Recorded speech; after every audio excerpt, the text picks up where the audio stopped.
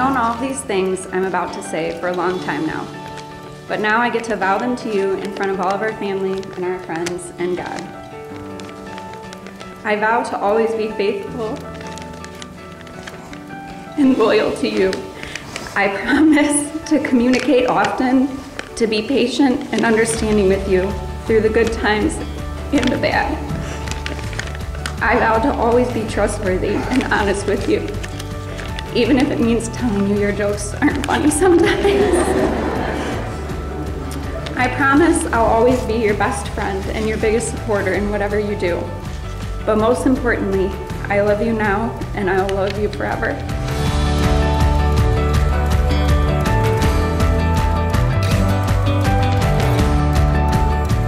I vow every day to show you how much I truly love you. I vow to always give you a hug or try to make you laugh when you need it most. I vow to always be there when you have a math problem you just can't solve. I vow to always take care of you, Oscar, any future family members we may add. And lastly, I vow to be the best husband that I can be every day for the rest of our lives. I love you, Danielle, and I cannot wait.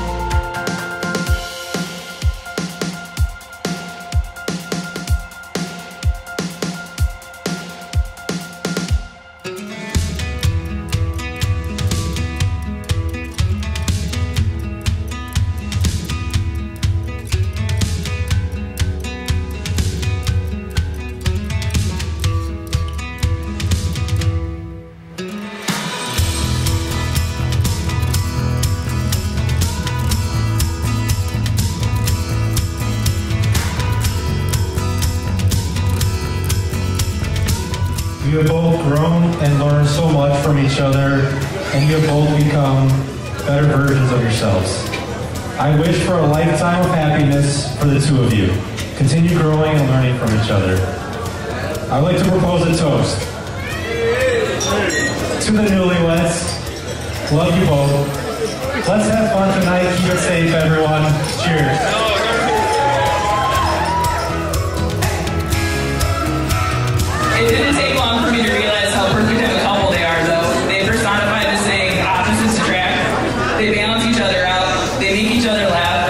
Each other better.